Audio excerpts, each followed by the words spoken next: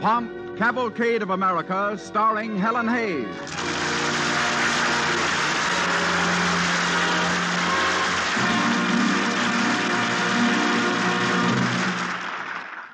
Good evening. This is Helen Hayes. I'm sure you'll enjoy our cavalcade tonight, an original radio play by Frank Gabrielson called Good Morning, Miss Tyckman. But first, here's Bill Hamilton for the DuPont Company. Thank you, Miss Hayes. Three million persons are injured in their homes each year, and falls in the home account for 17,000 fatal accidents. To help prevent small rugs from slipping, sliding, or creeping, use DuPont Rug Anchor. Rug Anchor is a non skid sponge rubber underlay that is dust-proof and waterproof. It won't harbor moths, and it can be trimmed to fit any size rug. You can help safeguard your family against costly, painful falls by putting DuPont Rug Anchor under floor coverings. Rug Anchor is one of the DuPont Company's better things for better living through chemistry.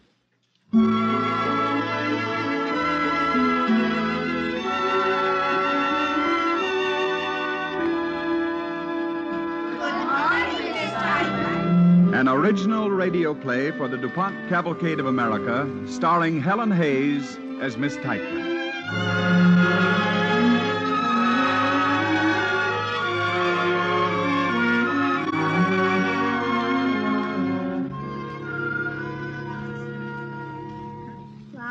Sail on, all ship a state. Sail on, all union strong and great. Louder, please, John. Humanity with all its fears, with all the hopes of future years. Don't be afraid of it, John. Is hanging breathless on thy face. Is that how you mean, Miss Tyckman? She is a teacher, this Miss Tyckman. A grammar school teacher, Joanna Tyckman, teaching 7B in a neighborhood school. She is, say, 60 and gray, but she stands straight as the shortest line between two points. And she knows, as we know our mothers and our bank accounts, subjects, predicates, objects, and the dangling participle. She knows when Vicksburg fell, how high the Andes are, and the names of all the capitals of the states.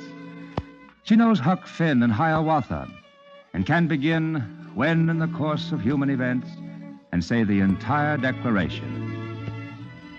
Besides this, Miss Tyckman knows each year the names, the faces, the abilities, and worths of a brand new class of 40. Good morning, Miss Tyckman. Good morning, class. But what do we know of Miss Tyckman? We were all one of those classes of 40 once under Miss Tyckman, or Miss Levy, or Mrs. Miller, or Mr. Jones. We spend as much time with them as with our parents, almost, and owe them as much, almost. But what do we know of Miss Tyckman? Suppose we were ordered to write a composition called Miss Tyckman, a teacher. Take pen and paper, please. Now write.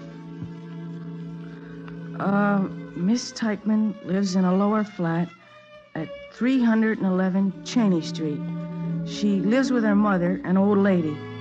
Every school day, Miss Tyckman gets up early and marks papers. Uh, some teachers do this the night before, but Miss Tyckman thinks it is healthy to get to bed early. Breakfast, Joanna. All right, Mother. I'll mark the rest of these before class. Fail them all. And that's the way they'll all end up. Not this class. They're the brightest I've ever had. You say that every year. Are you through with the newspaper, Mother? Eh, I don't know why I ever read it. Between the Russians and the high prices, it certainly don't give me any pleasure. And there's four new cases of infantile paralysis. Where? There, on the front page. I meant where in the city. Well, three of them are in Southside High. Mm, I found it. The others in Manlius Street. Right next to us. Uh, how many cases are there in your school now? Still three. Here's something in the paper about Charles Oram.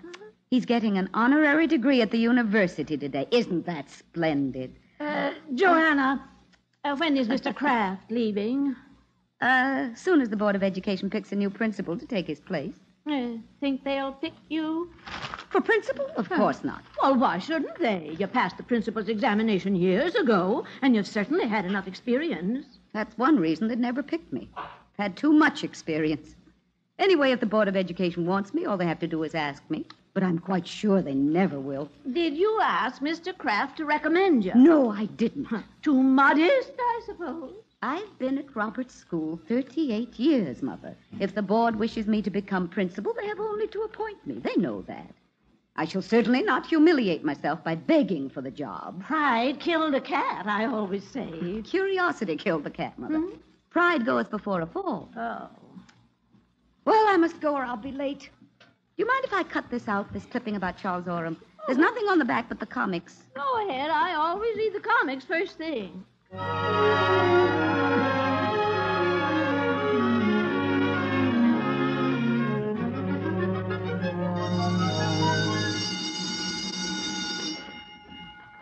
Come to attention, please. Class stand. The Pledge of Allegiance. I pledge allegiance to the flag of the United States of America and to the republic for which it stands, one nation, indivisible, with liberty and justice for all. My country is lovely, sweet land of liberty. On Monday morning, September 8th, 1910, when Joanna Tyckman, fresh from normal school, stood face to face with her first class in this same sunny classroom, some few of all the facts she taught in 1910 were different than they are today. The ruler of the Russian people is called the Tsar. The population of Los Angeles is around 300,000. Its principal industry is foundry and machine shop products. Marconi's experiments with the wireless may be a step towards the unification of all nations because its vast possibilities of communication will bring understanding to all peoples and hence put an end to war.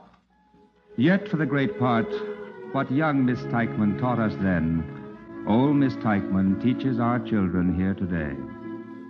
How do you find the area of a circle, Johnny? Pi r squared. And what is pi, class? 3.1416. This is pi. This is Archimedes, Euclid, Einstein.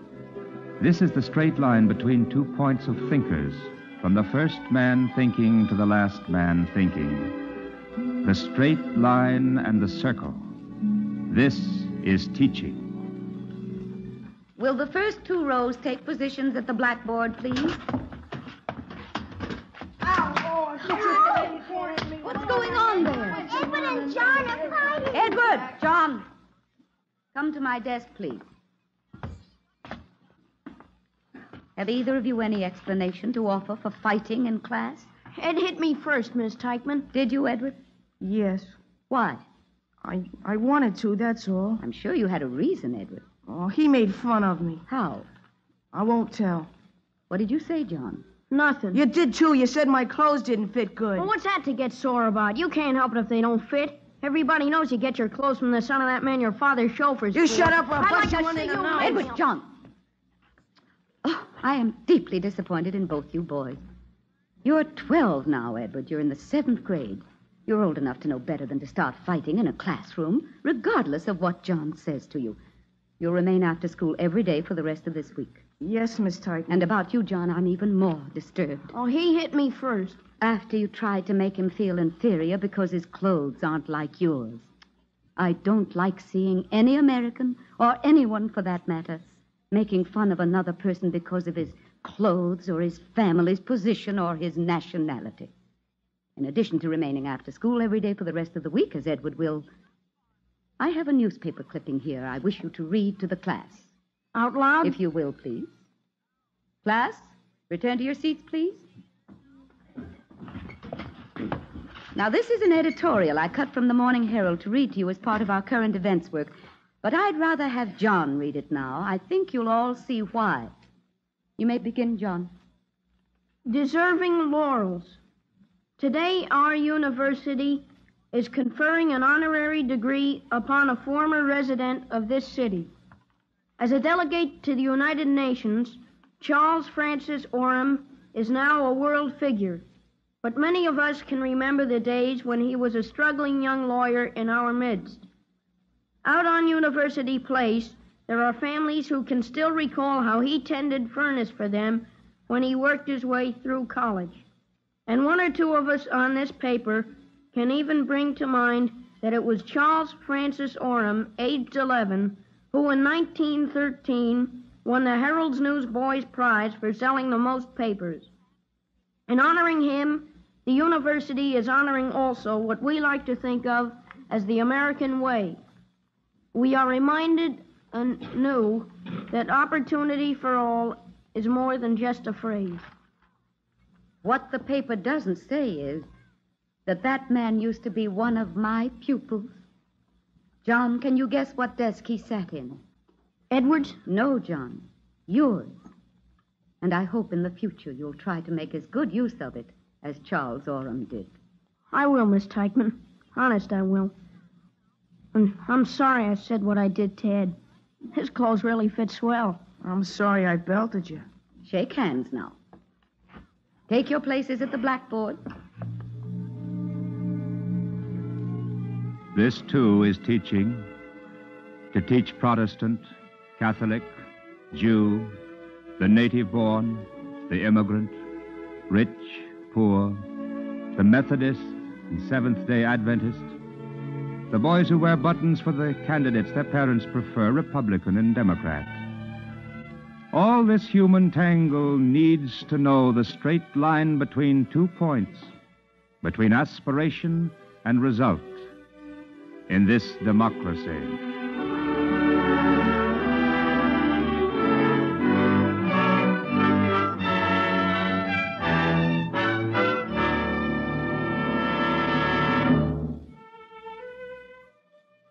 You are listening to an original radio play, Good Morning, Miss Tyckman, starring Helen Hayes on the Cavalcade of America, sponsored by the DuPont Company, makers of better things for better living through chemistry.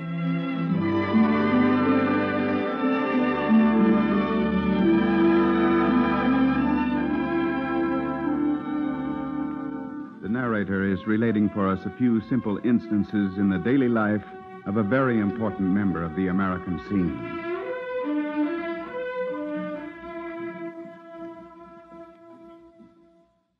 She is a teacher, Miss Tyckman, a grammar school teacher. Joanna Tyckman teaching 7B in a neighborhood school. Now there will be a test. No comments, please. Now we will have a test in geography. I have written the questions on the blackboard here beneath this map. You will have 30 minutes in which to answer them. Take pen and paper and begin. Now there will be a test in geography.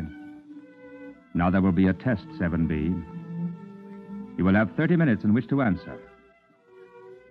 You will have a lifetime, too, for answering. This test goes on. Can you find Nagasaki on the map? Can you find Lake Success? You have 30 minutes, class, in which to answer. You have a lifetime, and no more. Keep your eyes on your own paper, please.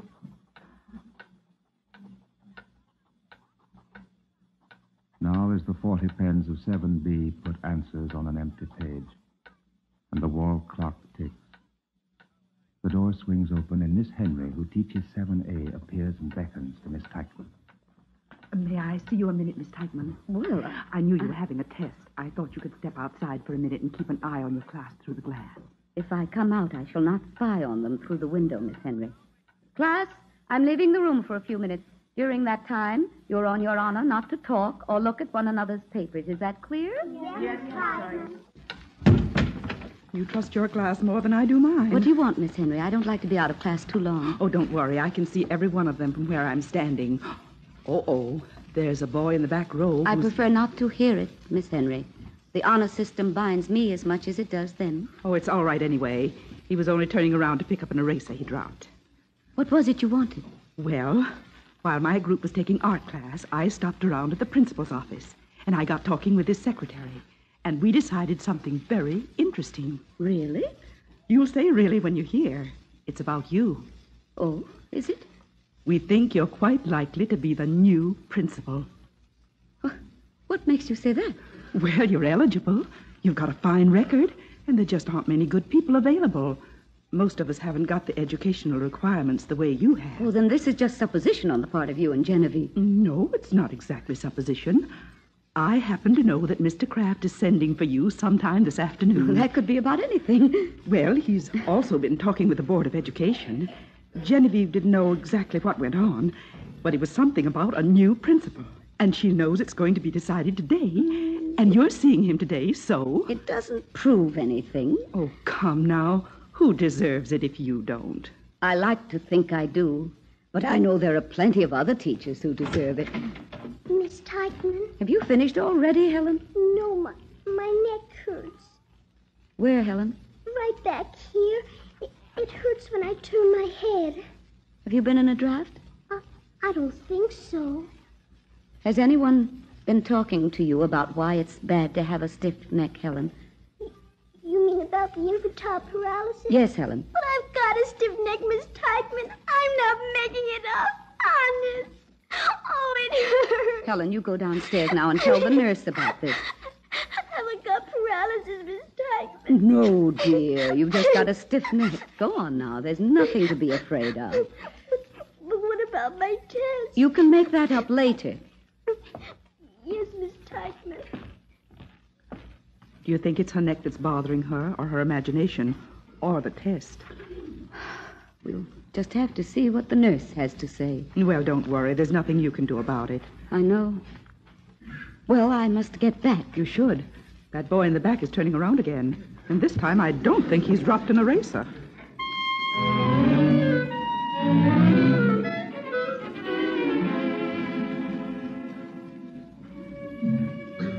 Miss Tyckman, Joanna Tyckman, teacher of 7B at Roberts School, at 3:44 this afternoon sits waiting outside the office of the principal. Beside her is a case of trophies, silver cups and statuettes of bronze. One marked 1921 reminds Miss Tyckman of Fred Bettinger, who won the 50 and the 100-yard dashes both that year. As she sits waiting for the principal, Miss Tyckman wonders what has become of Fred Bettinger. Mr. Kraft, we'll see you now, Miss Tyckman. Thank you. Oh, there's a man in there from the Board of Education who seems very anxious to talk with you, Miss Tyckman. Well, I'll go in now. I believe you wish to see me, Mr. Kraft. Oh, yes, yes. Come in, Miss Tyckman. Uh, this is Mr. Grant. How do you do, Mr. Grant? Miss Tyckman, hello. Uh, sit down, won't you, Miss Tyckman? Thank you. The Board of Education has sent Mr. Grant here. Uh, he wanted to meet you. I understand that you're the senior teacher in the school. Next year will be my 39th year, if I'm here. Oh, oh you'll be here, Miss Tyckman. Particularly these days, we need people with your experience. I'm probably going to be after you with questions all day long at first. I don't understand. Well, there's so much I'll need to know about the place. Uh, Mr. Grant is to be the new principal. I see. And since you are the senior teacher, I felt I ought to meet you before the others.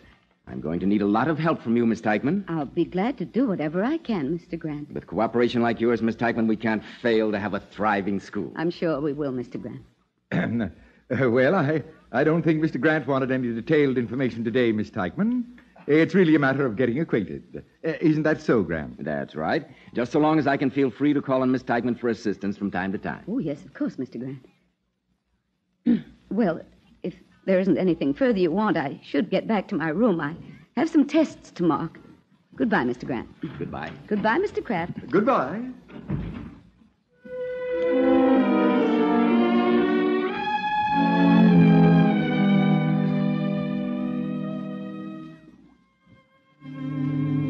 On Monday morning, September 8th, back in 1910, young Miss Tyckman faced the world in her first class with apprehension, determination, and infinities of hope. On Monday afternoon, February 2nd, 1948, old Miss Tyckman sits in the presence of a ticking clock and two recalcitrant boys. Under a column of 38 years, she draws a line and is, for once, uncertain of the sum. It's 4.30. Edward, you and John may go now. Thanks, Miss Tyckman. Yeah, thanks. I do not like yeah. said in my classroom, John. I'm sorry, Miss Tyckman. See you tomorrow. Goodbye, boys. Goodbye, Miss Tyckman. From 1910 to 1948, and underneath the straight line drawn, what is the sum? What is the sum? Oh, dear. Hello, Miss Tyckman. Hello. Can I do something for you? I guess you don't remember me, do you, Miss Tyckman? No, I- I'm afraid I don't. Well, this is a sort of a blow to my pride, Miss Tyckman. I used to sit at this desk right here. but I guess a lot of kids have sat here since. You can't be expected to remember us all. I used to think I could. I guess I'm getting old. Oh, not you, mm-hmm. Miss Tyckman. Well, you couldn't possibly know me. After all, in 30 odd years, a man does change. If it was that long ago and you sat at that desk, you must be That's right. Charlie Oram. Charlie Oram. I was taking a walk through the old neighborhood. I couldn't go by without coming in to say hello. How good of you to come, especially at this time. But how awful I didn't recognize you. It's inexcusable. Why, I, I, I've seen your picture in the paper at least once a week lately. No, you couldn't recognize anybody from those pictures, Miss Tyckman. I don't think I ever really associated the pictures with you anyway. Whenever I thought of you standing up in the United Nations and talking to all those great men, I somehow always saw you as a 12 year old boy whose hair wouldn't stay combed. and now there's no hair to comb. Still making jokes all the time, I see, Charles. I need to these days. Oh, I wish the class were here to see you. You know, we read about you this very morning in the paper. If, if you only knew what an inspiration a success like yours is to the girls and boys. Mm, I hope it is a success. Why, Charles, you're a great man now. I don't feel that way when I think about the United Nations. You have great responsibilities, I know, Charles, but I don't worry about you not being able to handle them. You told me that once before I pitched a ball game. And you won, didn't you? and you'll win in whatever you're doing now. I know you will, Charles. You're that type of boy. I I don't suppose you'd want to come in and talk to the class for a few minutes tomorrow, would you? Oh, I'd like to very much, Miss Tyckman, but I'm taking the plane out tonight. Yes. You you don't mind if I tell them about your coming to see me. It makes me very mm-hmm. proud. Tell them about the time you caught me smoking in the cloakroom. So you remember that, do you? It's amazing how much I remember of what went on. And the older I get, the more complicated my life becomes, the more sense the simple, fundamental things you taught us seem to make. I don't mean just the history and the arithmetic and the grammar. I mean the way you made us feel about life, Miss Tyckman. The truth was the most important thing in the world, and there, if we were right, we didn't need to be afraid of anything. we don't, Charles. I remember there was a poem you had us learn, something about somebody building a ship. The building of the ship. Ah, that's it, that's it. I always liked it. Not that it's exactly Shakespeare, I suppose. Naturally not. It's Longfellow. Anyway, it has a has a feeling of courage in it that always excited me. Uh, how did it go? Uh, Thou too sail on, O ship of state, sail on, O Union strong and great. Uh, humanity with Don't be afraid of it, Charlie. with all its fears, with all the hopes of future years, is Hanging? ha- hanging breathless on thy fate. Sail on, nor fear to breast the sea. Our, Our hearts, our- our hopes are all with thee. our, Our hearts, our, our hopes, our, prayers, our tears, our our faith triumphant o'er our fears, are all with thee, are all with thee.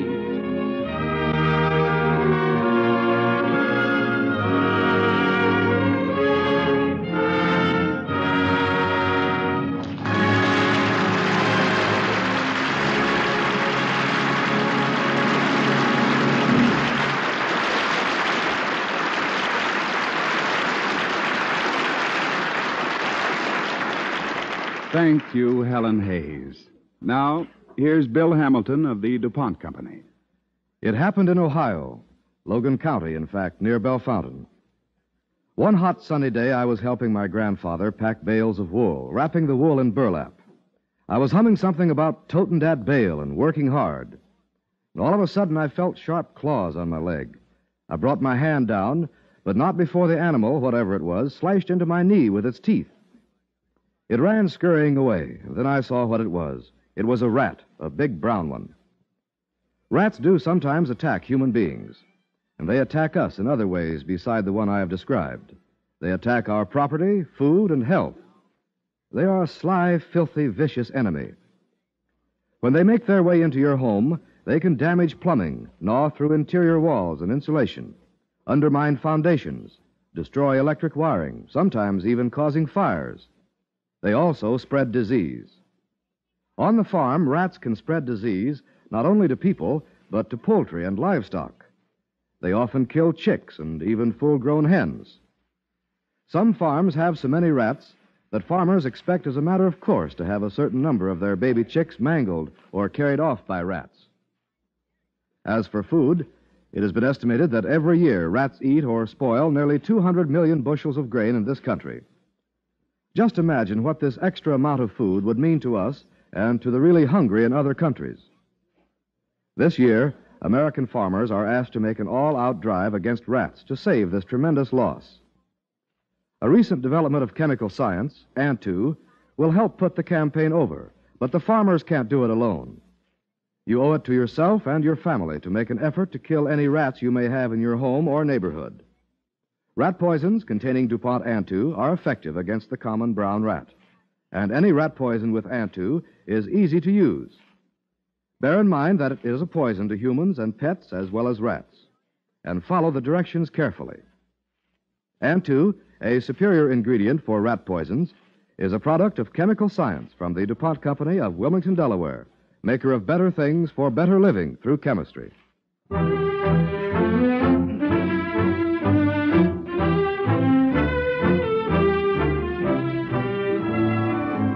Next week, Lincoln's birthday week, Cavalcade presents the distinguished Hollywood star Robert Young in Mr. Lincoln Goes to the Play, an absorbing story of the last day in the life of the great emancipator. We hope you'll be with us.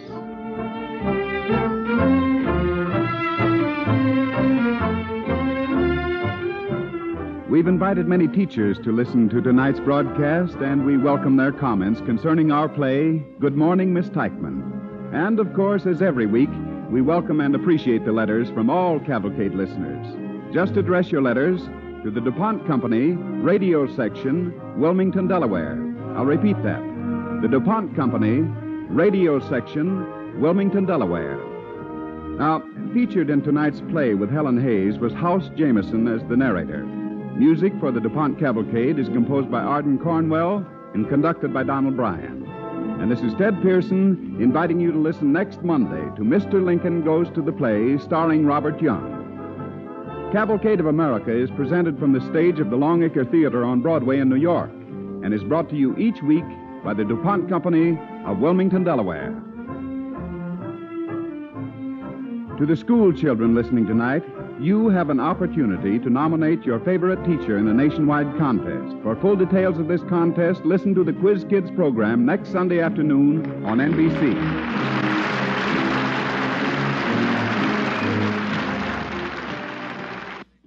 This is NBC, the national broadcasting company.